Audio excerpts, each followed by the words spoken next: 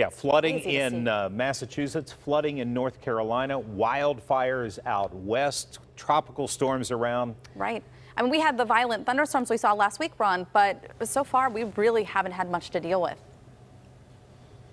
Yeah, you know, uh, we did see uh, about two weeks. I'll, I'll end it uh, basically two days ago. as the remnants of Fred came through, uh, where we see a lot. We saw a lot of rain, a big portion of our yearly rain coming in uh, during that time. But yeah, we haven't seen the widespread, uh, you know, river flooding or anything like that here normally, and even our high temperatures haven't seen the number of 90 degree days that you would expect to have seen all the way up until now. It has been plenty hot, but we just haven't seen those 90 degree days. And it's been very humid as well for most of the summer, a little bit more than it normally would be. Let's talk about your forecast, what's going on now.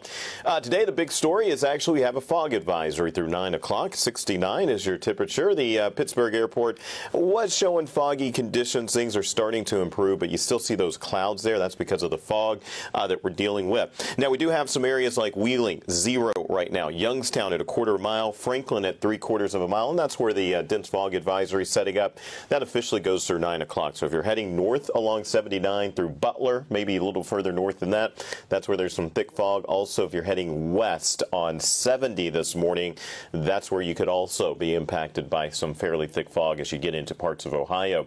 Temperatures this hour, right at and generally just shy of the 70 degree mark. Radar, at least locally, is dry, but we're going to take you down to the Morgantown area where we do have a couple of isolated showers down that way.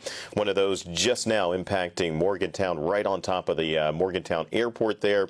That is sinking down to the south, so it's moving away from uh, western Pennsylvania. At this point, it's really on the backside. You can see that area of low pressure. Uh, it's on the backside of that big spin, uh, that mid-level low that's moving through. The thing that that's doing is helping to dry us out, at least for today and parts of tomorrow.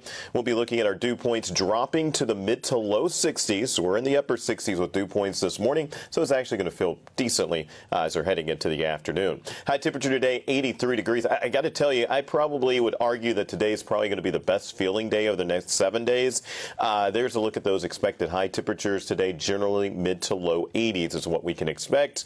A lot of sunshine also around for your afternoon hours. One o'clock temperature there at 80 degrees. Here's your seven day outlook 83 today. Your Saturday high 85 degrees. Humidity levels still in the mid to really kind of moderate range on Saturday. So it should still feel pretty nice. Uh, humidity starts to return starting on Sunday and temperatures start to go up as well. 87 your Sunday high, 89 your expected high on Monday, and some hot weather setting up for the uh, rest of the work week next week with temperatures near 90 degrees Tuesday, Wednesday, and Thursday. And I'm keeping your rain chance during that stretch at zero.